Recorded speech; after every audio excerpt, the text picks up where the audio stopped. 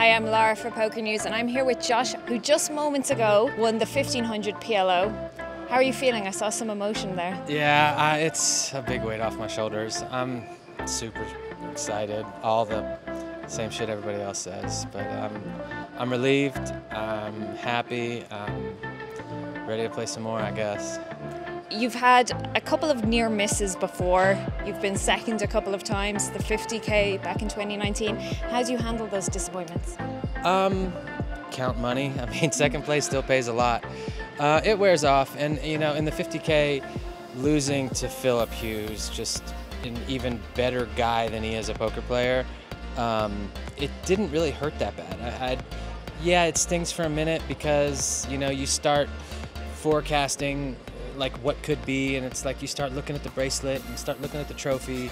Um, but it now it's, I mean, I won like 900,000, so it's it's that solves a lot of issues. Does it intensify the emotions when you do finally make that first place?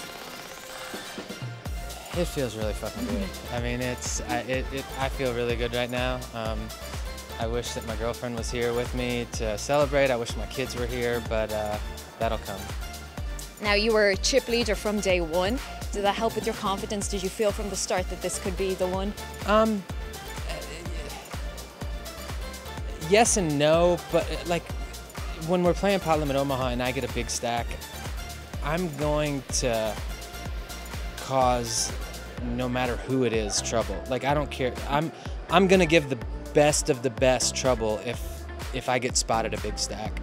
Um, I just feel comfortable and I don't mind gambling and so yeah, I mean anytime any anybody gets started with gets a big stack, they're gonna cause havoc to the rest of the people. You're obviously a big PLO player. What is it specifically about PLO that attracts um, you to the um, game?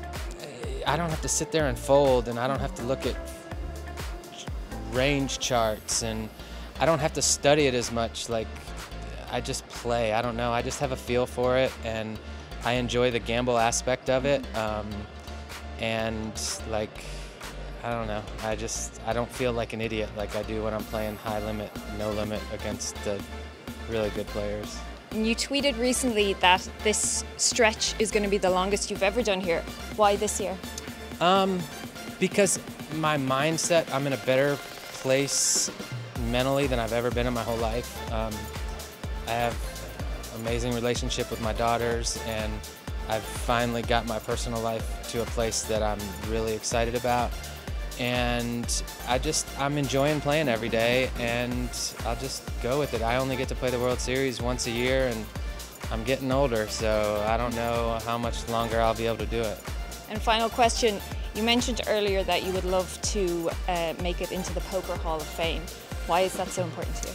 Just so like because when I started playing poker, I, was like I'm afraid to tell people that I was a poker player, just because it's like, oh, you do what, and you're like a, a hustler and a gangster, and, and just and for my daughters to be able to tell somebody that that my dad plays poker and then well he's actually in the poker hall of fame i think that would be really cool for me to pass down to my daughters and something that uh, that i would be proud of just and my daughters would be able to say, yeah, well, my dad's this, you know. And I think I think regardless, you have an amazing legacy, and, and people I think of you that way already. I appreciate it. Thanks so much for talking Thank to you. us, and congratulations. Our coverage of the WSOP is powered by Club GG.